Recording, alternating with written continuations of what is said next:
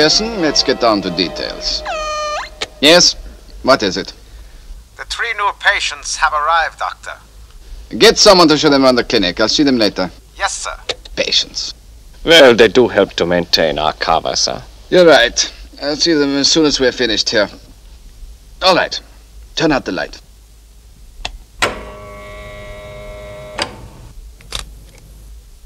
This is the World Intelligence Network's HQ London. Weston's office, third floor. That's him. Shane Weston. Telescopic lens, 300 feet. Sam Loover. We think he's the contact. And who's that? We don't know his connection with WIN, but Loover spends a lot of time at his cottage. His name is McClaine. Just how much do we know, sir? Very little. That's why I'm assigning you full time to Project 90. Our reference? Yes. And theirs. One thing we do know. WIN's code name, File 90. And it's something big. We want to know who or what File 90 contains.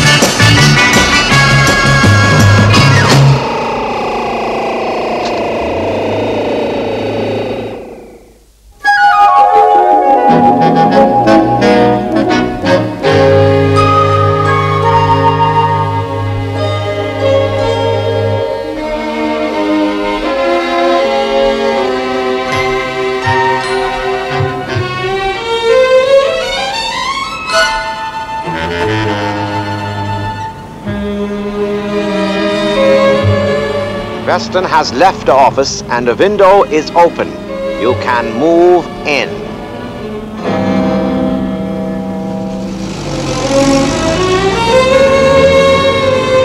Stop here.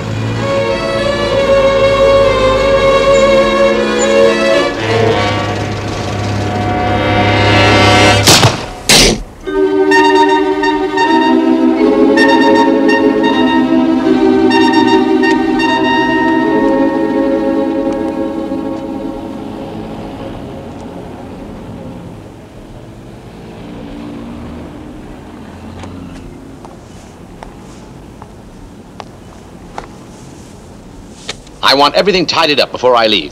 Send that cable right away. No, wait. Uh, you better try to call Washington again first. And see if you can rustle up a cup of coffee, will you? Yes, sir. Perfect. They should find it in a day or so. But it may give us a lead. I think we can say Project 90 is off to a good start.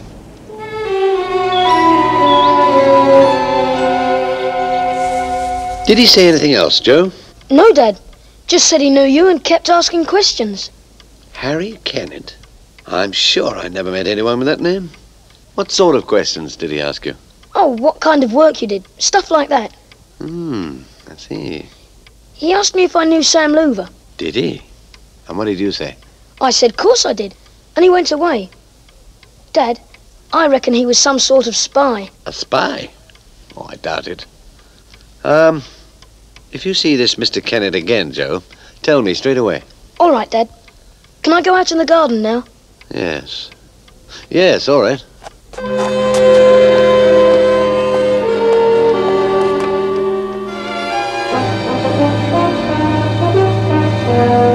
Weston. Professor McClaine, sir. Mr. Weston? Professor, how are you? I'm fine. I think there's uh, something you ought to know. Uh, go ahead, Professor. Well, it's probably nothing, but Joe was telling me about a man uh, who stopped him outside his school. Said his name was Harry Kennett. Harry Kennett. Yes. He was asking a lot of questions. I see.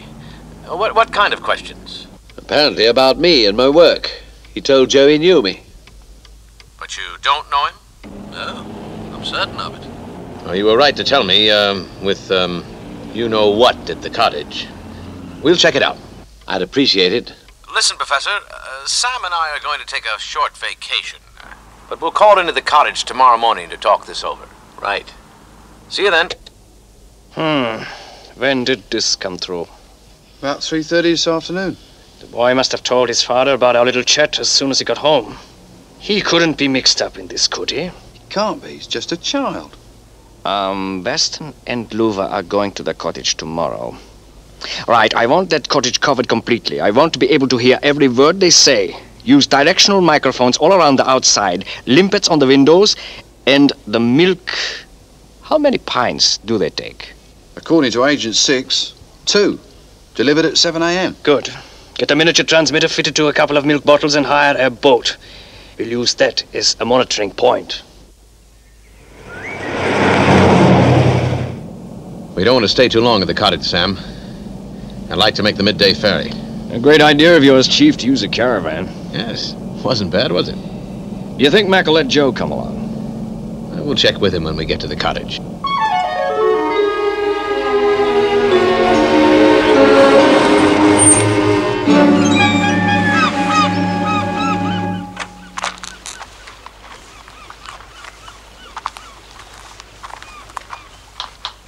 Switch to three.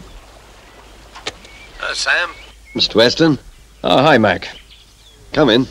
Uh, thank you, Professor. I hear you're off to the continent. Uh, yeah. Oh, just for a couple of days. Bring in four. Well, Mac, we've checked on your man outside the school. But from what we can pick up, he seemed harmless enough. Maybe you did know him once and have forgotten. It's possible, I suppose. I shouldn't have mentioned it. No, Professor, you were right. The big rat must remain a secret between the original four. Big rat? What does he mean? Quiet. Uh, where's Joe? In the kitchen. I want to ask him something. They're moving into the kitchen. Try six and seven. Hello, Joe. Hello, Uncle Sam. How'd you like to come away for a few days with Mr. Weston and me? Can I really? If you'd had, Gives you the okay. I'll take everything we've got back to the clinic tonight for analysis. I think we're on to something.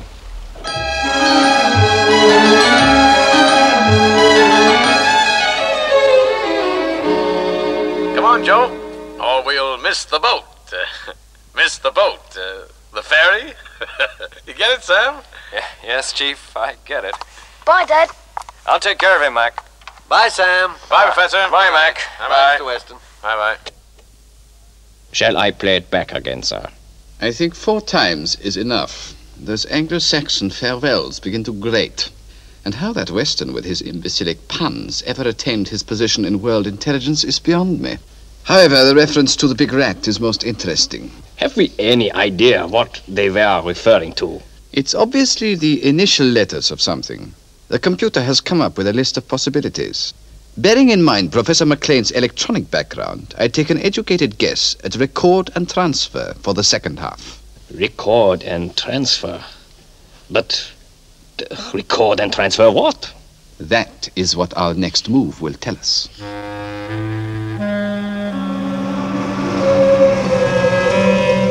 All right. Go and wake him up.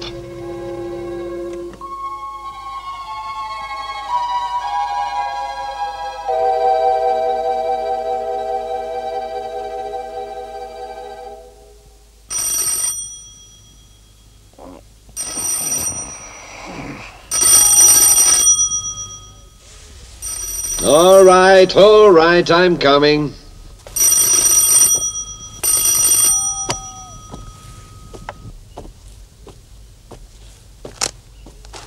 coming down. Who is it? It's an emergency. Open the door. There's been an accident.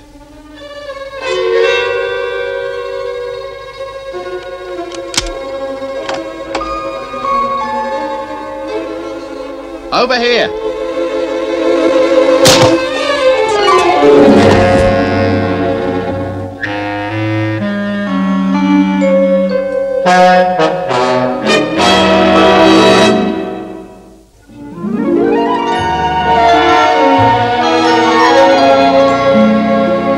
That rifle of yours is most versatile, Curson. Does it fire anything else apart from listening devices and hypodermics? Just ordinary bullets. Well, I'm sure we won't be needing those. Oh. Oh, where am I? Our friend is trying to speak. Rather monosyllabic, but no doubt he will tell us more when the effect of the drug wears off. Like the secret of the big rat. Yes, like the secret of the big rat.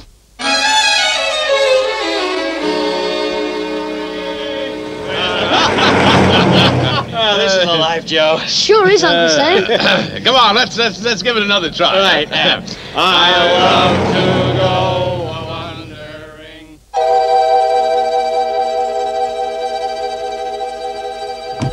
Ah, Professor. How do you feel? Who are you? And what am I doing here?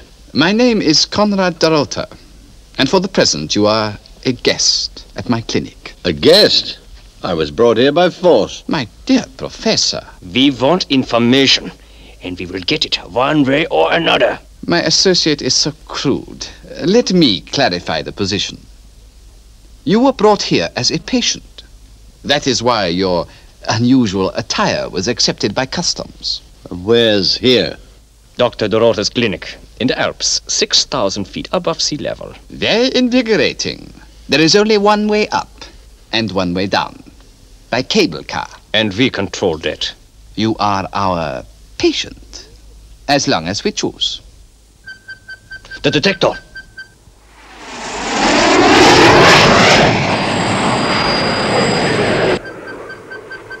A plane of some kind. Don't panic. It's only the mountain and rescue unit from the valley. Interesting detection gear. It's not radar. No. The interference from the mountains would be too great. It uses engine noise, amplified thousands of times. We can detect any aircraft approaching within 25 miles. Let's get on with it. My friend has a point. The information we require concerns the big rat. The big rat? Yes, Professor, don't tell us you've never heard of it. Oh, you mean the big rat. Brain, impulse, galvanoscope, record and transfer.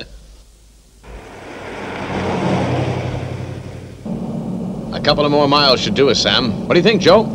That should just about be the right spot, Mr. Weston. If the wind's in the right direction.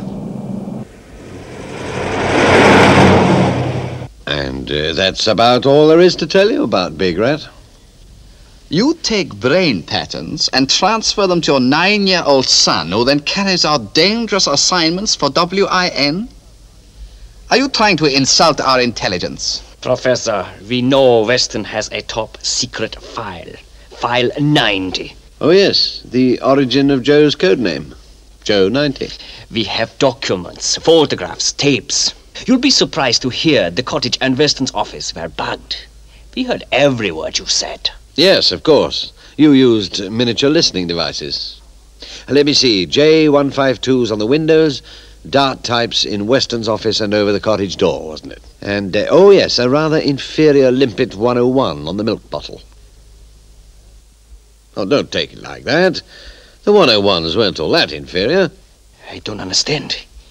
He seems to know everything. Leave this to me. You have attempted a very clever bluff, Professor. But you forget one thing. There is no possible escape from this clinic. You are our prisoner. On the contrary, Doctor. At this very moment, my son Joe will no doubt be on his way to rescue me.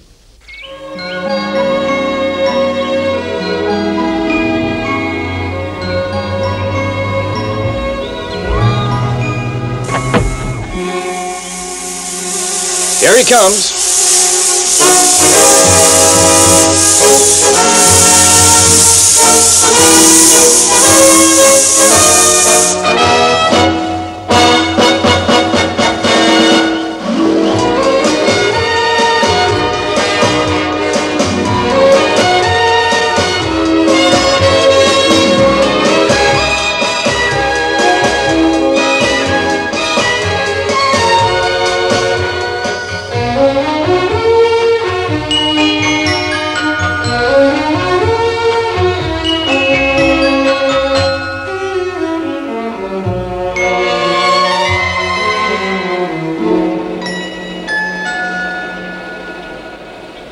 There's nothing. No plane, no helijet. Did you check the cable car? Of course. It's at the top and the winch is locked off. No one can use it. Professor, you have been very foolish. Why not tell us the truth? I have, Doctor. You'll see. My son Joe will be here in about eight minutes.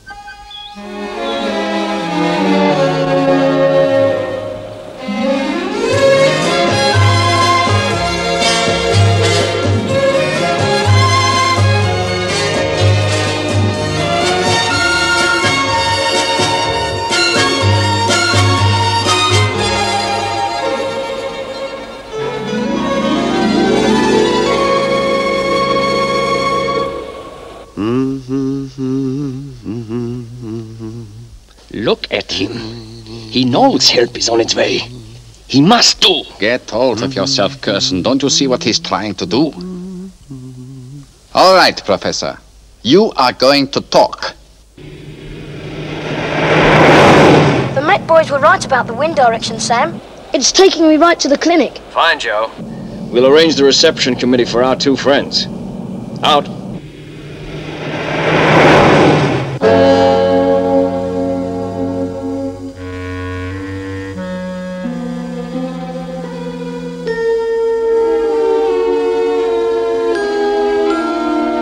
Curson found this toy and installed it here.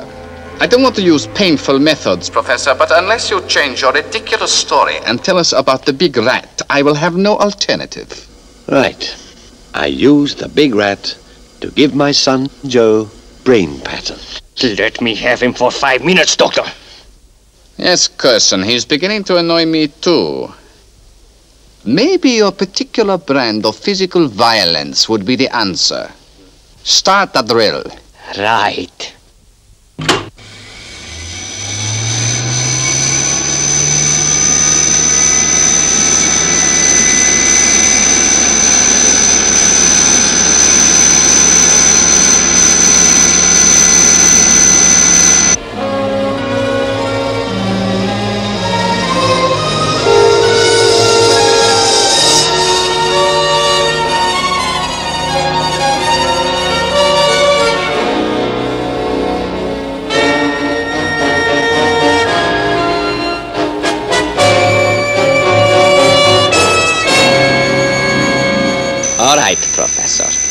This is your last chance.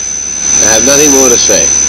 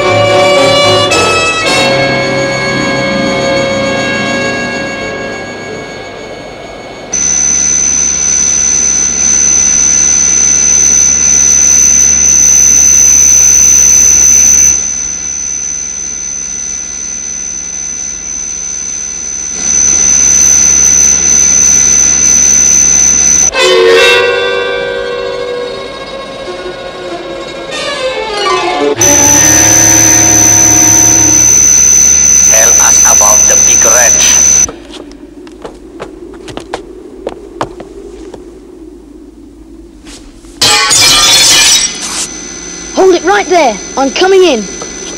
It's a boy.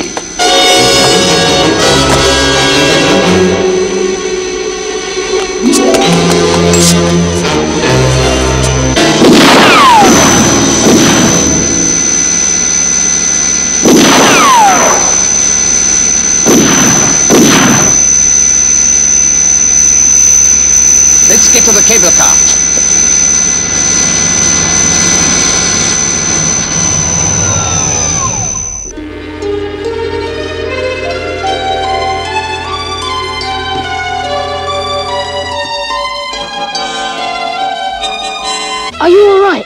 Yes, yes, I- I'm fine. I'm afraid they're getting away. As planned. Yes, Joe. Just like we planned.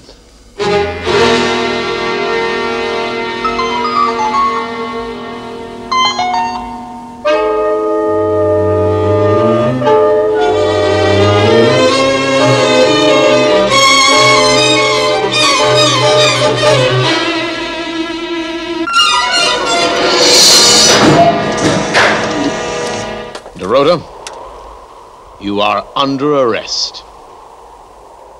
I don't understand, Mr. Weston, World Intelligence. Mr. Weston. What is the charge? Let's start with kidnapping. Kidnapping? I presume you have evidence of some kind? We've got enough. WIN always have um, ways and means, rather better than your own. A miniature device was slipped in Curzon's passport as he passed through customs last night. You stupid fool. This is a section I particularly appreciate. I think four times is enough. Those Anglo-Saxon farewells begin to grate. And how that Weston with his imbecilic puns ever attained his position in world intelligence is beyond me. Take them away, Sam. Bunch of amateurs. Bye, you two. See you in about 30 years.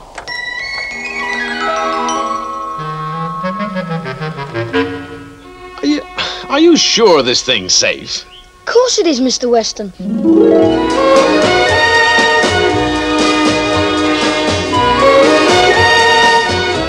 I think we're going up a bit fast here, Joe.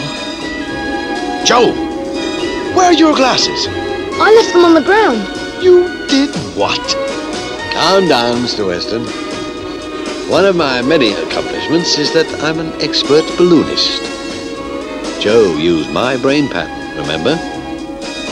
We're a little high, Professor.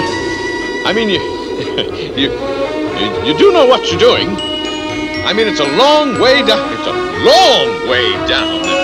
How do you get out of this thing? How do you put it in reverse?